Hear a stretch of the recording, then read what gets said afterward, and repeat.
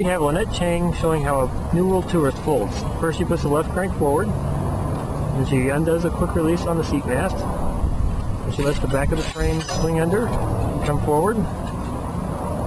Then it goes up to the front, quick release that releases the stem mast, and it's folded. Now to unfold it, she puts the stem back in, tightens the quick release,